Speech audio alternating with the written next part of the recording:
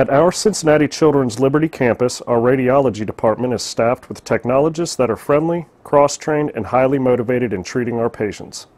They provide the same type of service as our main campus technologists back in Cincinnati, but in some ways they are different.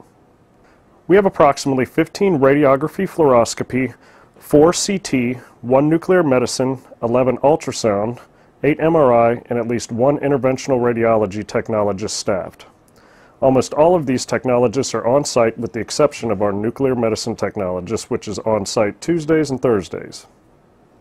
There is one CT technologist covering daytime shift, one covering nighttime, and one for Saturdays and Sundays during business hours. Two ultrasound technologists are staffed during daytime hours and one at night. We have 24-hour coverage with ultrasound Sunday to Thursday and limited hours on Fridays and Saturdays. We have two MR technologists in addition to radiology nursing staff Monday through Friday, 7 a.m. to 8 p.m. In radiography and fluoroscopy, our technologists provide 24-7 coverage. Primarily, four to five technologists are on day shift, two on evening, and one at night. These technologists can support fluoroscopy studies such as UGI, enemas, VCUG, as well as your normal X-ray scans.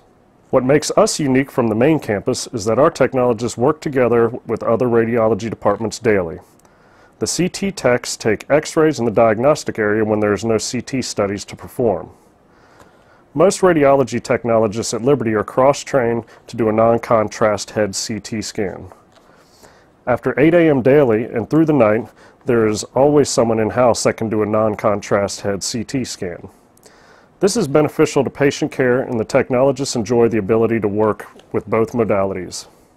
Our technologists are here for your child's experience and wellness and committed to serving you and your family around Liberty Township and across the tri-state area.